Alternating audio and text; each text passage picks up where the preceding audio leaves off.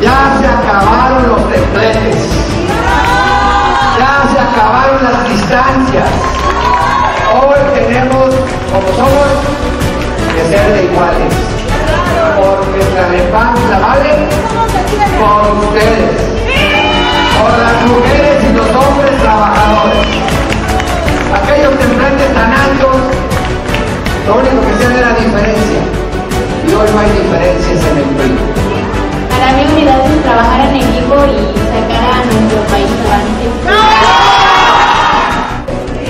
Nadie sobra en el PRI. Todos hacemos falta. Pero vamos a privilegiar la lealtad al partido. ¿Sí o no?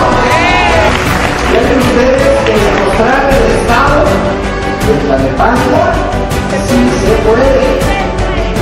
Que vamos a ganar cinco elecciones que tenemos en Primero vamos a anteponer el interés de nuestro partido para que salgan los mejores y las aspirantes. Si nosotros elegimos a esta diferencia de estos hombres, va a haber grandes resultados.